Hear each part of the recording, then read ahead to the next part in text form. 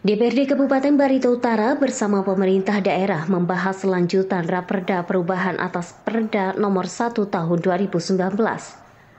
Raperda perubahan tersebut tentang pembangunan jangka panjang menengah daerah RPJMD tahun 2018-2023. Wakil Ketua 1 DPRD Barito Utara Permana Setiawan mengatakan pihaknya kembali melakukan pembahasan lanjutan mengenai RPJMD perubahan. Permana menyebut fraksi-fraksi DPRD kapasitasnya bukan menyetujui RPJMD, namun hanya memberikan masukan dan saran.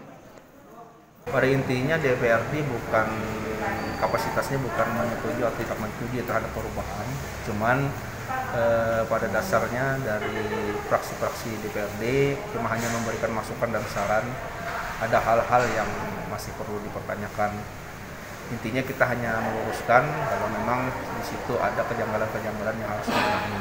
Pada intinya tadi sudah dijelaskan oleh pemerintah daerah dan juga kami juga menyadari dari DPRD bahwa terjadinya uh, perubahan RPJMD ini kan sangat uh, mendasar. Jadi kemarin di waktu kan ini sudah sudah pernah diskorsing satu kali. Nah, jadi kami meminta untuk bimbingan teknis terkait masalah RPJMD itu sudah kami laksanakan waktu itu kan kita bingung bahwa di dalam aturan itu bahwa menyatakan bahwa RPJMD itu bisa berubah itu tidak boleh kurang dari tiga tahun masa jabatan kepala daerah. Nah pada intinya kalau sekarang kan kalau mengikuti itu aturan harusnya tidak boleh, tapi ternyata itu berlaku apabila perubahan RPJMD dalam keadaan normal. Nah saat ini memang kebijakan nasional yang yang artinya mendasari untuk berubah ke daerah. Jadi perubahan ini didasari oleh pusat juga, termasuk adanya bencana bencana non alam yang COVID-19 ini.